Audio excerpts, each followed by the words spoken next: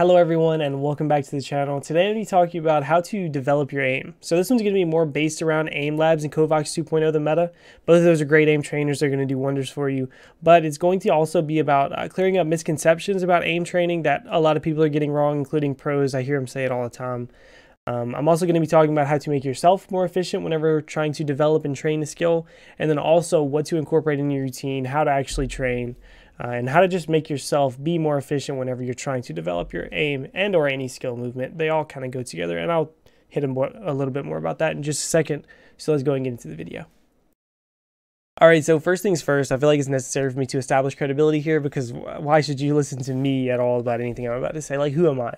Um, so I hate throwing around credentials, but I do feel like it's necessary for this type of video. So I'm certified to be a strength and conditioning coach. I'm also a certified personal trainer, and I have a minor in sports coaching. And all three of those just mean I've spent the past few years learning how to do and how to train people to do skill movements more efficiently. And aiming is actually a skill movement, uh, just like shooting a basketball or throwing a baseball. It's basically just your central nervous system working with your muscles to establish uh, synaptic chains or mind muscle connections um, or muscle memory to be able to perform that action subconsciously within a game more efficiently and consistently. Uh, because that's the end result, that's the end goal. You want to be able to play instinctually and not have to think about every action you're about to do.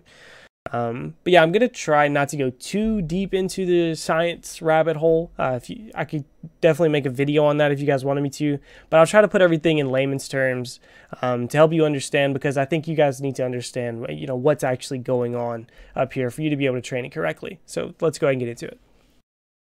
Okay, so the first misconception I want to talk about, and I'll try to make this one quick, is the fact that you need to train your aim for X amount of hours every single day to um, develop good aim, which is just simply not true. So, whenever you're learning a skill movement or training a skill movement, uh, your central nervous system is getting taxed. And just like any other part of your body, your central nervous system gets tired.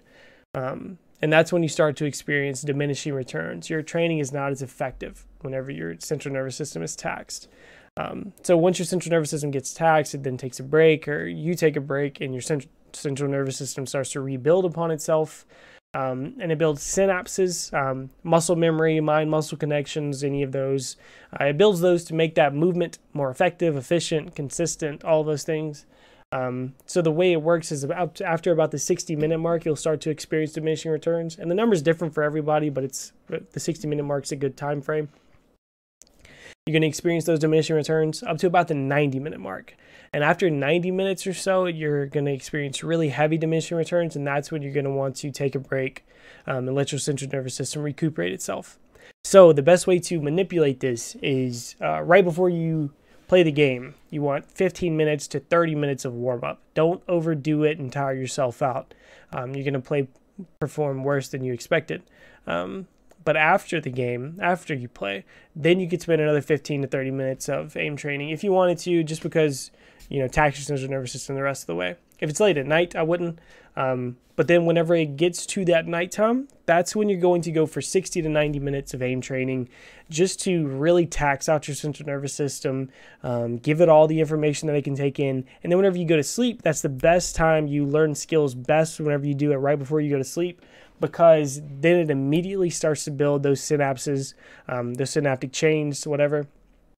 And that's when it really gets implemented and you learn it the best right before you go to sleep. So in the morning, don't tax yourself out if you're going to play the game that day.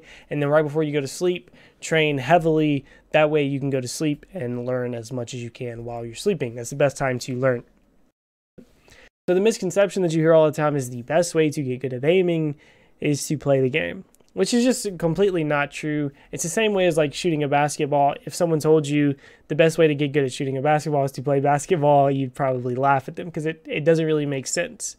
Um, so let's talk about Kobe Bryant. Kobe Bryant, the best basketball player of all time, the best skill athlete of all time, in my opinion. Um, so the way he would work out is he would wake up early in the morning and then train for two hours. And then he would take a small break, and then he would train for two hours more, and then he would take another break, and then he would scrimmage later into the evening. So this is the perfect workout plan because there's three tiers for learning a skilled movement. First of all is muscle memory. You have to train the ability to actually do the movement. So for him, he would come in and do a very basic movement and train it. Just like you for aiming, say you want to do flicking, you would come in and then you would practice for a while on just your flicking movement. And then you would take a small break to let your central nervous system refresh. That way, you're not taxing your central nervous system anymore. And then you would uh, practice that muscle memory movement, the same muscle memory movement, and then you would turn it into a game specific movement, right? Like, so for him, it would be, you know, shooting a three. This time it would be catching the ball and then shooting a three, right? The catch and release. For you, it could be flicking, and then now you are taking that flick and you're combining it with a peek out and then flicking to a target and killing, right? So that's a game specific movement. And then you take those practices and you put them into a game, you focus on them specifically, and that's how you work it from a muscle memory movement to a game specific movement to now it's something that you can actually do unconsciously in game or subconsciously, whichever one you want to say. Um, you want it to be where you don't have to think about it. It just happens instinctually in game and you get more and more effective at it as you go. So that's how it works. You have to focus on the uh, three tiers of the skill movement and then break it down and specifically work on it that way. You, you don't just go to tier three and play the game to try to get good at uh, aiming in the game. That's not how it works. Um, so hopefully I've cleared up that misconception.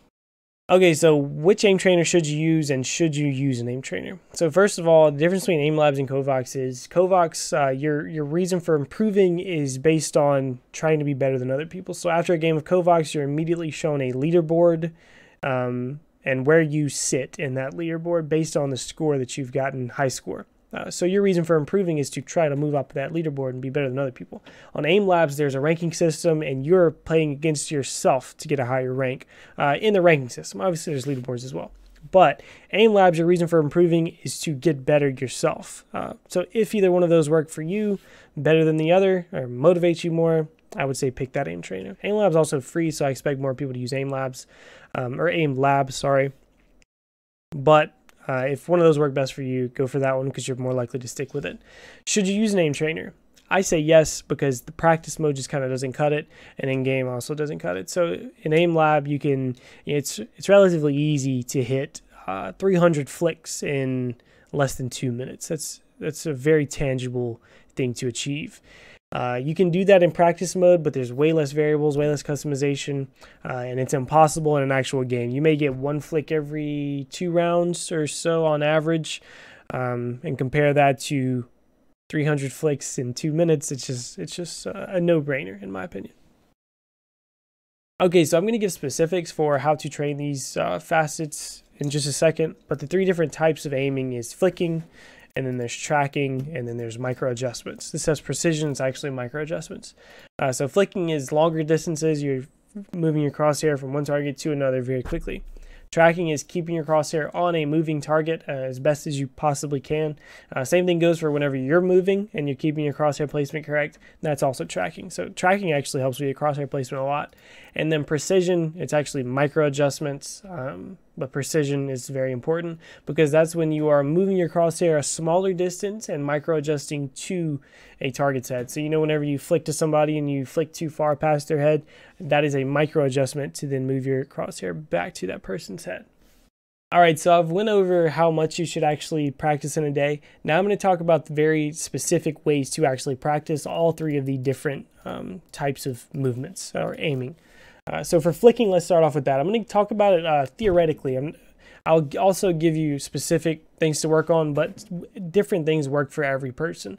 So I'm going to tell you theoretically how you should work on these things. So first of all, flicking is most effective when it's a straight line between one target to the other. So line trace is incredible. And you can set up something like this with Kovaaks. All you are is something where there's no time limit and targets don't despawn. And you just take your time going from one target to the other in a exactly straight line. So that's what you're looking for. And line trace actually tangibly makes it, makes you do this. I don't think Kovaaks has anything like this. Um, but yeah, line trace is great. I would just say do this uh, at the very beginning, just like warming up before your actual aim training. And then what you want is something where you get the most repetitions in as quickly as possible. So grid shot um, is the perfect way to do this. And there's a lot of different variations for this. On Kovaaks, one wall six target is one that comes to mind. Uh, but really, whenever you kill a target, another one pops up. And this in 60 seconds, it's very easy to get to like 120 different um, flick or repetitions in. So what you want is the most repetitions in the smallest amount of time. So 120 repetitions in 60 seconds is incredible. But this is a very easy version. So once you get really good at grid shot or you get pretty comfortable flicking, then you need to move to something more difficult like a spider shot. Now this is maybe like a week down the road or just whenever you're comfortable. Because spider shot is going to be one target pops back up. It's going to be longer distances. It's going to be smaller targets, variable size targets, uh, but it's just going to be more difficult. So you're going to force yourself to be more and more precise with your flicks. So this is going to help you get really fast with your flicks and be able to do it over and over. This is going to fo force you to be able to flick really quickly and then click on that head. So this is the progression that you want. Something um, with a lot of repetitions and then as you get good at it, make it more difficult for yourself by going to a different task like this. Okay, so I'm going to be completely honest here. I think uh, tracking in Kovaaks is much better than tracking in AimLab. I think flicking in AimLab is a little bit better than flicking in Kovaaks. Um, if I was doing tracking in AimLab, I would be between Switch Track and Sphere Track. Sphere Track is the best for just raw tracking ability.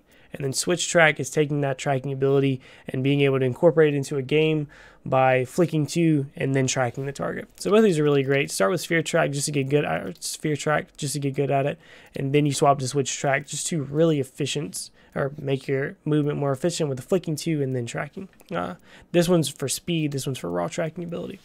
Motion track is also interesting, but I would just kind of stay away from it. It seems pointless to have to flick back to a target in the very center and then flick to and track again. Seems pointless to me. But on Kovaaks is a little bit different. Uh, these are the three best maps in my opinion. Air No UFO No Skybots is the raw tracking ability one for this one. Uh, the target moves over and over and you're on it for a long time. It's very difficult.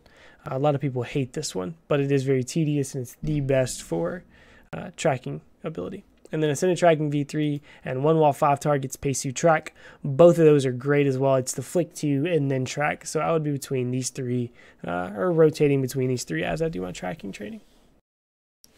All right, now finally, let's talk about micro adjustments. So micro adjustment, um, we have uh, strafe track, this is actually really interesting. If you have high sensitivity, I would suggest you start with strafe track just because it develops your ability to be able to be gentle with your mouse and slightly move it across the mouse pad. This stops you from whenever you have to micro adjust, you just put a lot of pressure on your mouse so you don't actually move it. Um, this stops that, and that still happens to me every once in a while. So I would suggest go to strafe track for a while, just at the beginning. And then we have micro shot and spider shot. Honestly, these two are exactly the same. Micro shot is just a little bit tighter of the micro adjustments. So I would say for raw micro adjusting ability, micro shot's great. Um, and you're going to get a little bit more repetitions per time for micro shot. Uh, and then spider shot is going to be a little bit wider of a distance, uh, but it's going to be virtually the same as micro shot. This one's just a little bit more difficult, and it's a little bit wider of a distance to have to micro adjust to. And then for Kovaaks, we actually have my favorite um, scenarios in the entire thing. So any of the pressure aiming category, they're going to be great for micro adjustments. So pressure aiming 10 target, 7 target, um, three targets fine. Shorten is just a, a, shorter version of it. But yeah, any of these are great. These are actually my favorite um, scenarios. But what are what they're doing is they're spawning 10 targets. They get bigger and smaller as they go, and it forces you to uh, micro adjust to each one over and over track out your path, um, and forces you to continuously micro adjust over and over. And it's very difficult. But getting good at pressure aiming is getting good at micro adjustments. And you can honestly just kind of get lost in these because it's going to immerse you in the thing. Um, so for Kovaaks, I would stick to the pressure aiming category for micro adjustments. Alright, so I hope this video helped in some way. If it did, let me know in the comments down below. Uh, and let me know what you want to see next in the comments down below as well. Uh, my Twitch is going to be in the description if you want to check out some of this stuff live. Uh, make sure you subscribe with the bells on uh, and hit that like button. If you're not already uh, in the habit of doing that, make sure you do that. Not just for me, for anyone that you enjoy a video of because that's the best way to help us out because the algorithm love that stuff. Um, but yeah, that's going to be it for me. I hope you guys enjoyed everything. Much love. Thanks for stopping by and peace out. And I've been chilling, watching the ocean with you. Baby, up with a slow motion crew. And we up in our cloudlands when people change, but not us. And we just chilling, kicking it, kissed by the sun.